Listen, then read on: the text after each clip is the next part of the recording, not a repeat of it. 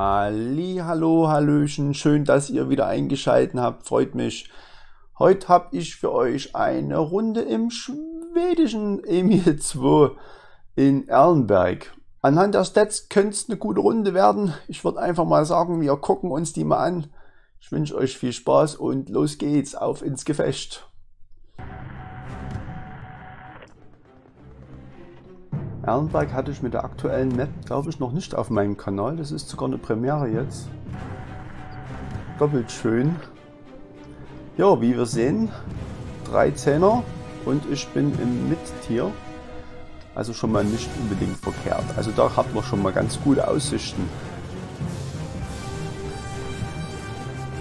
Gegner Typ 5 schwer, ziemlich eklig, Jagdpanzer E100, das kann alles nicht gerade viel Spaß machen, wenn die einen gegenüberstehen. Gerade der Typ 5 schwer mit seiner ekligen HE.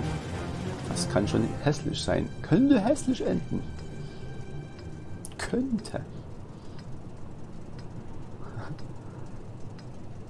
So, los geht's hier.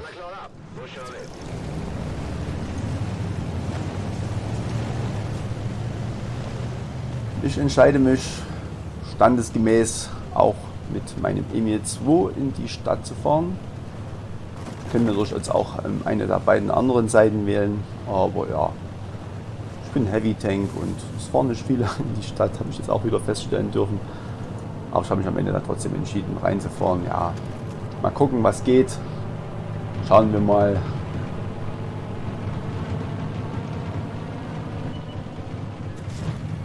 Drüben geht der TVP auf, das ist schon mal gut.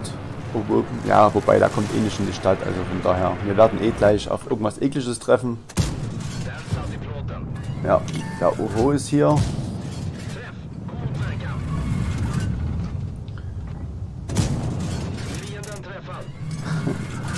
Und die ersten Murmeln gingen ins Ziel. Und schon haben wir unseren ersten dreimal, haben wir schon dreimal Schaden gemacht, also so kann es weitergehen konnten wir unser Magazin gut einbringen und jetzt müssen wir erstmal wieder nachladen, ganz gemütlich. Jetzt kommt ein Mäuschen, der Minimap seht das.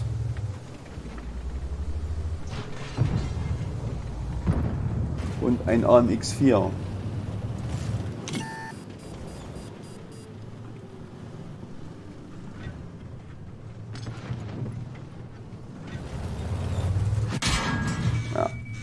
Okay, die haben auf mich gewartet. Der Move war leider nicht ganz so der Riesenreißer. Naja. Ja, die Front des ANX ist sehr hart. Ja, und jetzt...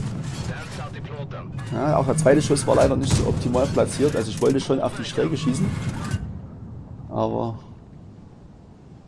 ich muss so schnell wieder zurück, weil dieser eklige Typ 5 schwer macht böse Aua mit seiner HE. Da wollte ich mich nicht treffen lassen. Ihr seht schon, beim AMX müsst ihr genau ziehen, also auf die Schräge da vorne an der Wanne, wenn er ranschießt, kommt er ganz gut durch, auch ohne Premium. Ich lade jetzt zwar Premium, aber warum lade ich Premium?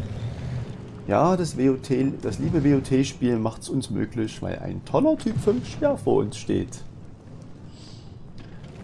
Ja, gucke ich ein bisschen meinen Panzer an, derweil kann ich ja... So, jetzt geht's weiter. oh, gespottet. Hat einer geschossen, also schieße ich mal zurück. Allerdings war der... Ich habe mir, hab mich schon ein bisschen blöd eingegeben lassen, muss ich schon zugeben. Aber naja gut. So, noch eine für den Typ 5, die wieder auf die Panzerung ging.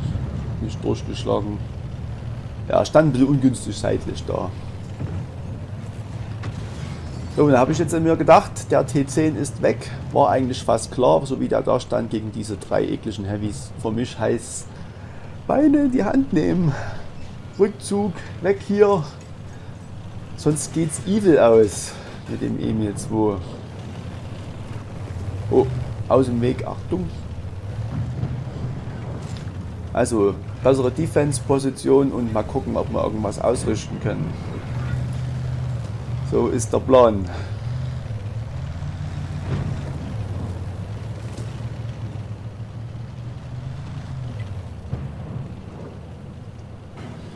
Der linken Seite hat unser Team den Durchbruch geschafft.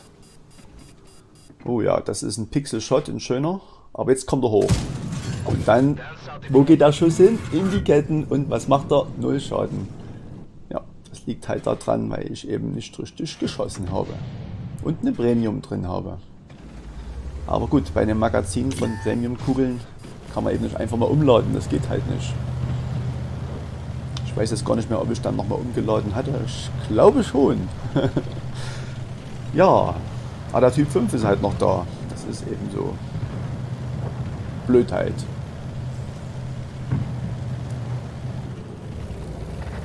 Ich habe halt gedacht, jetzt äh, kommt die spotten nochmal den Scorpion. Hat es leider nicht. Hat leider nicht geklappt.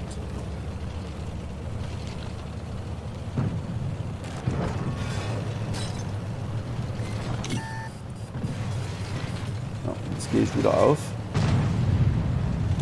Also irgendwo spottet mich hier einer, der T49 vermutlich.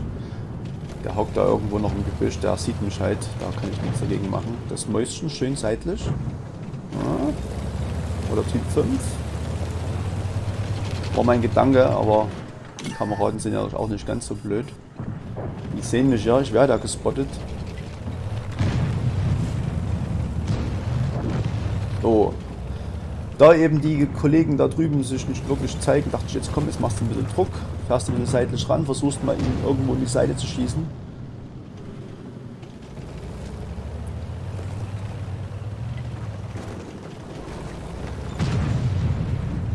Ja. Ja, der Typ 5 hält sich wacker mit seinen 20 HP.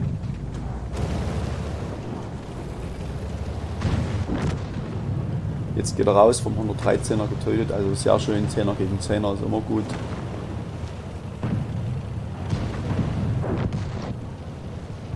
Spielstand 9 zu 4, also sieht alles ganz locker aus, glaube ich jetzt. Jetzt kommt der T49.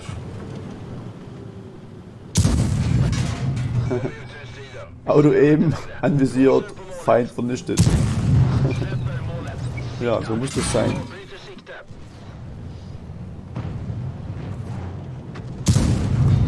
Aber ich meine, klar, ich schieße mit Auto eben jetzt. Ähm, ich habe Premium, ich, ich habe keine Premium mehr drin. Ah, okay. Ja gut, okay, das war vielleicht ein bisschen übermotiviert, aber naja. Jetzt muss ich eh erstmal wieder nachladen und warten und warten. Hätte ich vielleicht auch mal zielen können auf den 50 TP, aber naja. Gibt schöne Spotting-Punkte. Leider, das muss ich dazu sagen, falls, falls sich einer gewundert hat, die Spotting-Sachen zeigt es mir leider nicht an. Aber ich habe schon einigen, einigen Spot-Damage mittlerweile gemacht. Irgendwas stimmt mit der Anzeige nicht mehr. Das Replay ist noch von der letzten Version. So, 14 zu 5. Der Jagdpanzer wurde auch vernichtet. Jetzt fehlt nur noch der Udes und dann haben wir es. Und der kleine Ude steht netterweise direkt vor mir und ich konnte nochmal eine Kugel verwerten. Und damit ist das Spiel gewonnen. Super, schauen wir nochmal aufs Gefechtsergebnis. Wenn wir uns den detaillierten Report anschauen, dann fällt uns eins gleich mal auf. Jawohl, eine Erfolgsmarkierung gab es noch oben drauf. Sieht irgendwie schöner aus neben dem Panzer aus. Jawohl, Panzer aus war es nämlich gewesen. Dann gibt es noch Speer, Hand Gottes, äh, Schläger und Wirkungsfeuer. Ja, wie die Medaillen, ganz toll. Hier aber die drei Anleihen, die sind super und Spartaner. Ja? Wer eben mit weniger als 10% Struktur rumläuft und dann noch Bouncer bekommt, der kriegt eben die Spartaner-Medaille.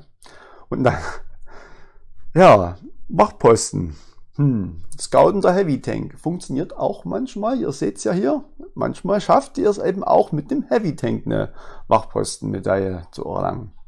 Ist schon ein Stück her, aber ich hatte mal mit dem IS-6 eine ähnliche Runde. Da hatte ich auch die Wachpostenaufzeichnung geschafft. Ist auch auf meinem Kanal. Müsst ihr ein bisschen runter scrollen. Irgendwann findet ihr dann die Runde. Die war auch nicht schlecht. Die war, damit ihr das, wenn ihr es suchen solltet, auf Wadi. Also könnt ihr ruhig mal gucken. Die war auch nicht verkehrt. Teamscore, ja, 3100 Schaden, zwei Kills, war bloß, aber es war eben fürs Team gut gescoutet und da gibt es eben dann auch schöne Punkte, 1300 Punkte. Mal gucken, hier. 5700 Schaden ermöglicht mit einem Emil 2. Also das hat schon mal richtig gefetzt. Das war schon mal klasse. So macht es halt auch Spaß zu spielen. Ne? Also nicht immer bloß maximal Schaden. Auch Spotten ist, bringt auch viele, viele Punkte. Ja, 19 Mal geschossen. Ähm, ja, okay. Die Anzeige ist, ge ist geschrottet. Keine Ahnung. Wir haben ein paar Mal auch getroffen, denke ich. ja, und im Premium gespielt und dann hm, Minus waren ein paar Premium-Murmeln dabei. Da kommt halt auch ein bisschen was Minus raus.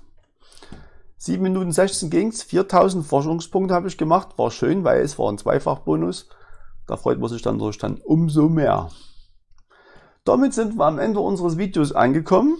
Ich hoffe, euch hat's gefallen. Wenn ja, euer Daumen hoch würde ich mich freuen und über Abo, über, über euer Abo würde ich mich noch viel mehr freuen. In diesem Sinne, macht's schön gut, bis zum nächsten Video und ciao.